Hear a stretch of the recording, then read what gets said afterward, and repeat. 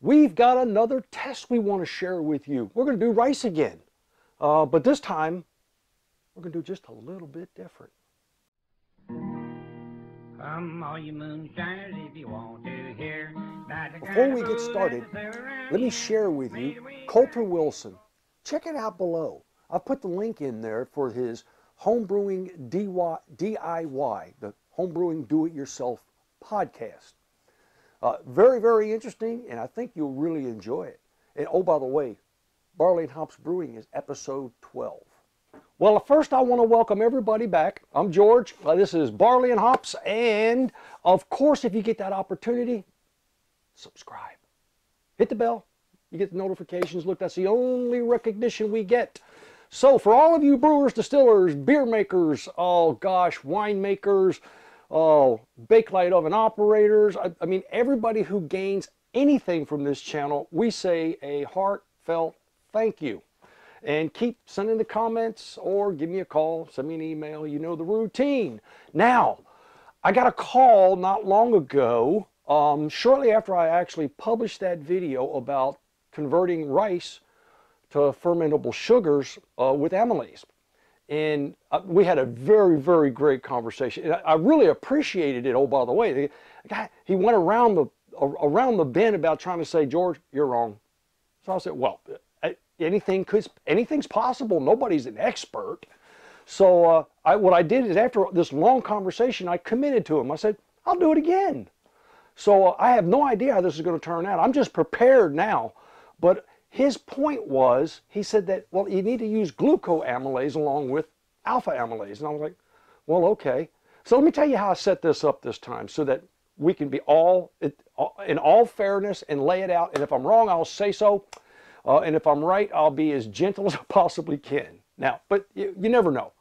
Here's what we have, okay? I put 200 grams of boiled rice in each one of these containers uh, these are quart jars. Now, th th these two are 155 degrees right now, and I've actually filled them up equally with water.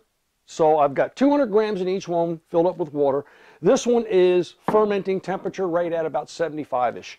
Uh, th this is my pot that I heated these up in. So they were, I used a water bath to make sure that this was a constant temperature and I maintain that temperature in here. Now, what will happen is, is I'm going to introduce amylase um, and then I'm going to put these back in here and allow them to set at 155 degrees uh, for 90 minutes. Now, first of all, most amylase activity, amylazistic activity, I, I, I made up that word before.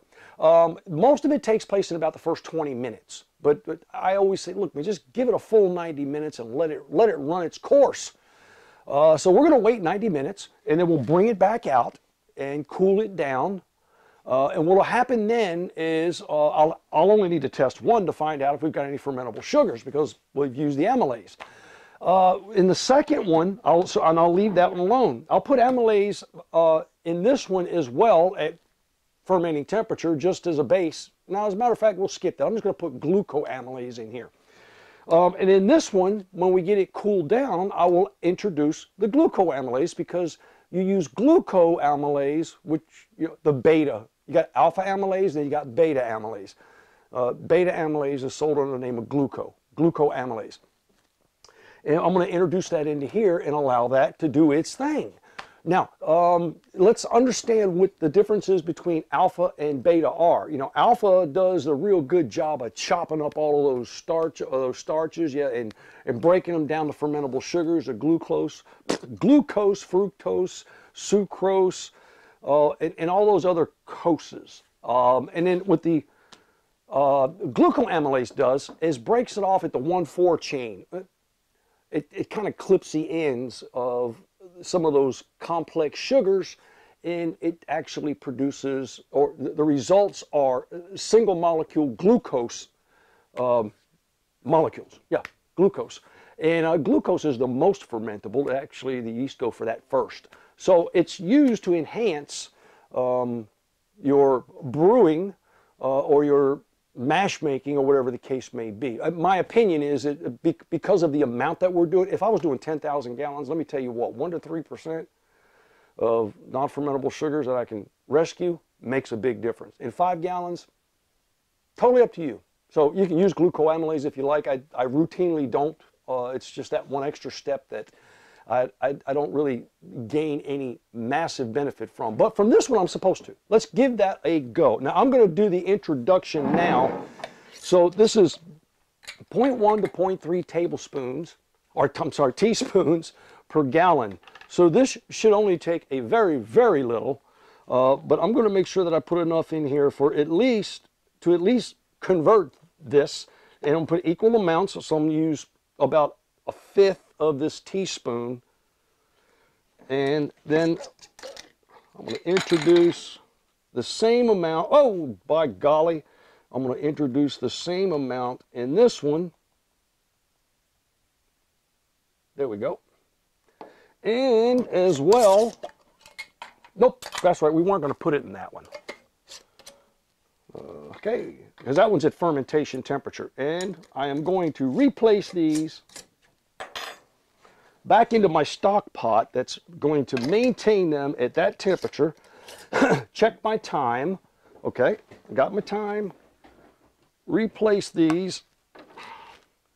And I've just got these sitting in that a colander in there that sets it, it's an offset from the bottom.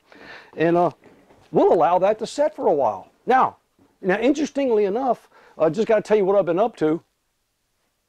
Couldn't help it. Had to go back. Uh, and I'm still in search of, I'm looking hard. I'm trying to find somebody that ain't doing nothing. And I want to help them. We'll be back. Okay, I have returned. Now, it has been several hours uh, because when I conducted this test, I wanted to make sure there wasn't any outside influences whatsoever. And we're still puzzled. Um, I allowed this to cool from the 155 degrees I maintained it at for 90 minutes I allowed it to cool naturally. So it's been, a, and you know how long that could potentially take. Uh, just good thing it's only a quart jar. All right, now uh, this was the one. This is, of course, uh, no heat whatsoever, just rice in the water, and of course that measured at 1.000. That's and that was expected. Um, both of these measured, uh, and I used a hydrometer on this. On this test, I used a hydrometer. On the other one, I used a refractometer. Uh, with a hydrometer, I measured 1.010. So I did get a reading. Now, um, the jury is still out um, because of the following information. Now, and again, we're still in the search of a final resolution, and I hope we get there. Um, I tasted this um, after I measured it. I was like, okay, there, then apparently there is some conversion. So I tasted it, and I can detect not one iota of any sweetness whatsoever. So I said, well, maybe, and I'm thinking out loud outside the box. And again, using a hydrometer gave me a little bit more of a challenge as opposed to a refractometer. Um, and I'm thinking maybe, just maybe, it was the thickness or the viscosity of that water that was filled with all those starches. That's that, that there's a potential there, okay? So there, this may be a case of we're both right or um, we're both out there in left field. Um, here's what I do know though. I've added the glucoamylase to this one. And I think it's probably rational to, to expect that if there was some conversion and glucoamylase cuts off the number one and four chains, that there should be an increase in gravity. Don't you think? So if, if I drop this hydrometer back into this solution, and I'm going to give it overnight, tomorrow, and it's higher than 1.010, um, well then it's clear that there is some sort of conversion taking place.